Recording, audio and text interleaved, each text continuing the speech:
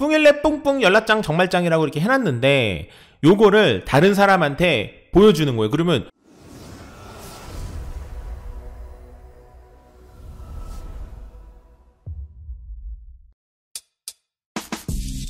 안녕하세요 모바일랩입니다. 오늘은 파일 압축의 간단한 원리 및 분할 압축 방법과 필요성에 대해서 간단하게 정리를 해보려고 합니다. 구독자분 중 한 분께서 분할 압축을 좀 하고 싶은데 방법을 알려달라고 저한테 문의를 주셨는데 겸사겸사 분할 압축을 하려면 이 압축의 간단한 원리까지도 같이 좀 이해를 하고 계시면 요런 요런 요런 방식으로 압축을 하면 되겠다라고 이해하실 수 있을 것 같아서 간단하게 정리를 좀 해보려고 합니다. 우리가 파일 압축을 하는 목적은 크게 두 가지입니다 첫 번째는 파일의 용량을 줄이기 위한 목적이고요. 두 번째는 파일을 분할하기 위한 목적으로 크게 보실 수가 있는데 오늘 영상은 이 두 번째인 분할 압축에 대한 부분을 간단하게 정리해 보려고 하고요. 사실 분할 압축에 관한 내용을 설명하기 위해서는 압축의 원리를 간단하게나마 알아야지만 압축의 형식을 선택하거나 이해를 하는데 크게 도움이 되실 거예요. 그래서 압축의 종류와 내용을 다 설명하면 사실 재미도 없고 영상도 너무 길어지기 때문에 오늘 이 영상에는 파일 압축에 해당하는 비송실 압축에 대해서만 설명을 드리도록 할게요. 우리가 쉽게 이용하는 그냥 압축 방법 이렇게 생각하시면 될 것 같아요. 일단 너무나도 간단하게 압축의 원리에 대해서 한번 간단하게 설명을 해보도록 할게요. 여러분 만약 예를 들어서 제가 요 글자를 만들었어요. 모바일 랩, 모바모바, 열라좋아, 정말 좋아.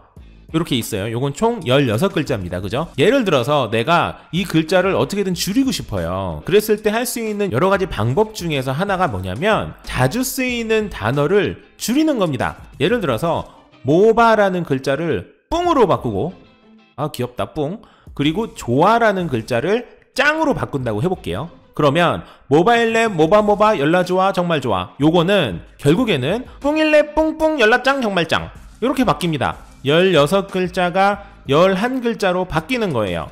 대충 이해가 되셨죠? 그래서 제가 뿡일레 뿡뿡 연락장 정말짱이라고 이렇게 해놨는데 요거를 다른 사람한테 보여주는 거예요. 그러면 이게 야 뿡일레 뿡뿡 연락장 정말짱이 무슨 소리야? 뭘 이해를 못하죠. 그랬을 때 제가 힌트를 주는 거예요. 야 뿡은 모바로 바꾸고 짱은 조화로 바꿔봐. 그러면 어 그래? 어, 어디 보자. 모바일레 모바모바 연라좋아 정말 좋아야? 이렇게 돼버리는 거예요. 압축의 방식이 이겁니다. 여러 가지 패턴을 파악해서 이걸 줄이는 거예요. 너무 쉽죠? 압축의 원리에 대해서 우린 다 알았어. 맞아요. 이게 다 다른 거예요. 이게 다예요.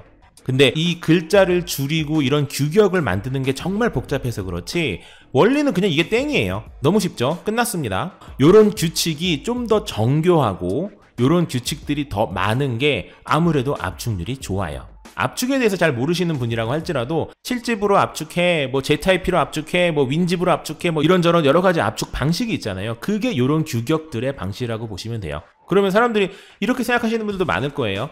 야 그러면은 무조건 규격을 어마어마하게 많이 만들면 좋겠네 라고 생각을 하시는데 사실 이 규칙을 많이 만들수록 그만큼 압축을 하고 압축을 푸는데 속도가 느려져요 그렇기 때문에 마냥 규칙을 너무 많이 만드는 것도 결론적으로는 그렇게 좋은 압축 프로그램은 아니라고 할 수 있습니다.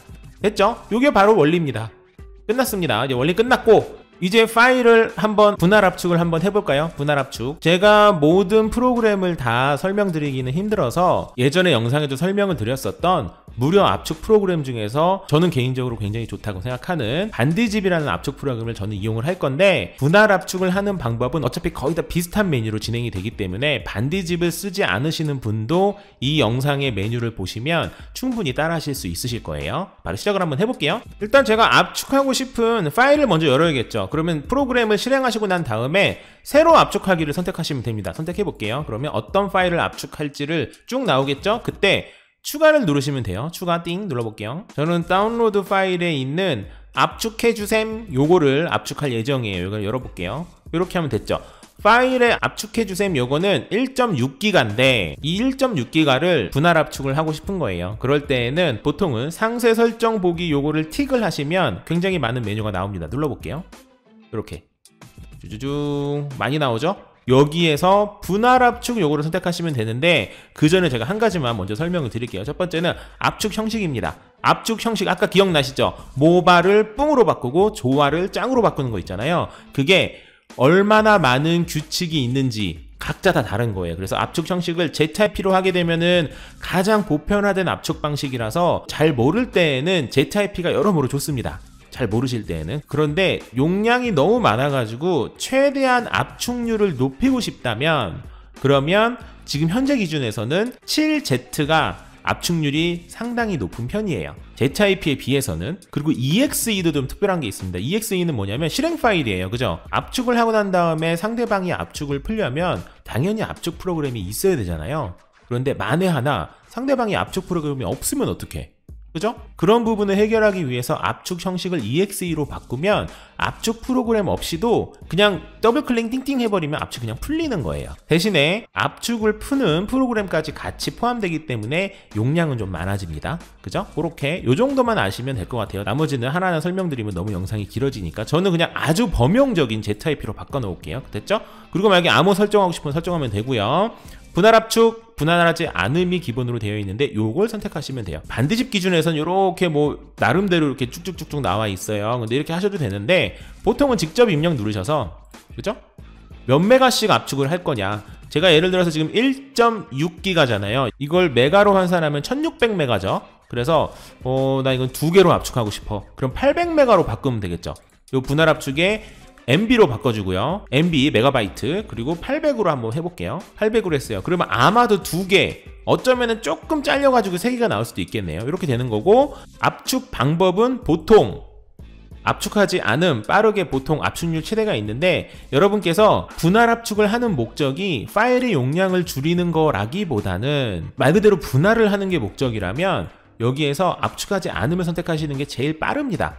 저도 압축하지 않음으로 선택을 할게요. 사실 이 압축 방법도 설명해 드릴 게 되게 많은데 요거는 과감히 패스 압축하지 않음에서 아래로 내려가면 내려갈수록 압축률은 좋아지지만 그만큼 압축을 하고 압축을 푸는데 걸리는 시간이 많아지는 거예요. 됐죠? 그렇기 때문에 저는 압축하지 않음으로 일단 해볼게요. 테스트니까 어차피. 그러고 나서 아래 거는 뭐 대충 보이시죠? 뭔지 알겠죠? 그렇게 하시고 압축 시작을 누르시면 됩니다. 띵. 지나간다. 쭉쭉쭉 쭉쭉쭉. 어, 엄청 빠르네. 됐죠? 저는 4초 만에 됐어요. 1.6기가가. 좋네요. 그리고 닫기 누르시고 어떻게 제대로 됐는지 한번 탐 새끼를 열어서 한번 확인해 볼게요. 요놈의 탐 새끼. 압축을 했는데 안타깝게도 압축이 3개가 나왔네요. 이렇게. 왜냐면은 1.6기가인데 제가 800메가로 딱 하니까 1.63, 뭐 1.64 이런 식으로 됐었나 봐요. 그래가지고 3개가 나왔고 이제 정확히 800메가씩 땅, 땅 이렇게 나눠졌어요. 총 3개가 있고요. 여러분 분할 압축을 하게 되면은 이 분할 압축한 파일 전부 다 가지고 있어야지만 압축이 풀립니다. 여러분이 압축 방식을 어떤 걸 선택하냐에 따라서 ZIP가 끝에 붙을 수도 있고 아니면은 뭐 RAR이 붙을 수도 있고 7Z가 붙을 수도 있는데 어찌 됐든지 간에 파일은 기본적으로 하나가 있고 그 위에 01, 02, 03, 04 이런 식으로 붙게 됩니다. 됐죠? 저는 기본 이름 하나가 있고 그 위에 두 개가 더 붙어가지고 총 3개가 된 거예요. 그죠? 압축을 풀 때에는 0102가 안 붙은 원래 있는 첫 번째 거를 더블 클릭해서 푸시면 됩니다. 한번 풀어볼게요. 띵, 쩍 그러면 풀기 확인. 압축 풀기도 빨리 되는 편이죠. 왜냐면 제가 가장 빠른 속도를 선택했기 때문이죠. 됐죠? 압축해 주세요. 나왔죠. 이렇게 되는 거예요. 너무 쉽죠? 이렇게 해서 분할 압축을 하시면 되고요. 뭐 친구들한테 보낼 때나 USB에 담아서 갈 때나 이럴 때 용량을 이런 식으로 여러분께서 생각하셔서 나눠서 압축을 하시면 굉장히 쉽게 원하는 작업을 하실 수가 있는 겁니다. 이렇게 분할 압축을 활용하시면 되고요. 추가적으로 궁금하신 사항 있으시면 댓글로 남겨주시면 제가 확인해보고 답변을 드리도록 하겠습니다.